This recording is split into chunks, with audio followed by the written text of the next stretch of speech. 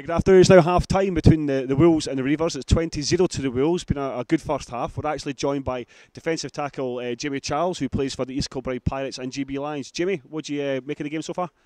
Well, it's uh, pretty slow from the Carlisle Reivers anyway, from point of view, but it's you know all credit to them keeping in there uh, with their first season, affiliated season. Uh, the Wolves with depleted numbers today, but you know going strong, working hard, and running the ball hard as well. So you know, it's quite impressive to see the boys coming through. What do you make of the call of uh, Martin Punter being sent off? Uh, do you think that was justified? I think uh, when the whistle goes, you let go of the player, but um, I think it was a bit harsh to be quite honest. Yeah. So yeah. I mean, it is a contact sport. Do you think referees are maybe too harsh in, in today's game? Uh, I don't think they're too harsh. I think they're more cautious than harsh. Um, they're trying to player safety is important. Uh, they've got to protect both sets of players. Um, so I don't think they were too harsh, but I do think it's something that should be looked at. I mean, obviously with yourselves uh, in the East Kilbride Pirates, you're eight and one in the season at the moment. Just come off a, a hammer on the uh, Manchester Titans, 100 0 uh, got next week. How do you feel it's going to go? Yeah, it's a big game. I think Manchester will be looking to get something back from us. Um, 100 0 is a, a, big score to lose, so they'll definitely be looking to put points on us. But we're also looking to keep home field advantage in the playoffs and uh, letting them score as little points as possible. So it'll be a big game for us, and I'm sure it'll be a bigger game for them. So uh, all looking forward to next season for them. So.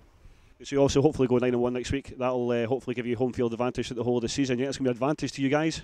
Uh, I think it'll be a great advantage. Um, not a lot of teams like coming up to East Kilbride and playing us. Um, it's a long journey, but you know it's uh, where we play our best. Uh, home, you know, especially at Hamilton, it'll be great for the fans to come out and watch uh, the playoffs. When I spoke to you earlier, you thought obviously going into we're trying to get to the, the BAFL final. Um, you think obviously your potential opponents could be the London O's. Do you think that's going to be good for you guys? It's going to be a tough game, especially. I mean, I suppose at that stage in the season, it's going to be tough whoever you meet.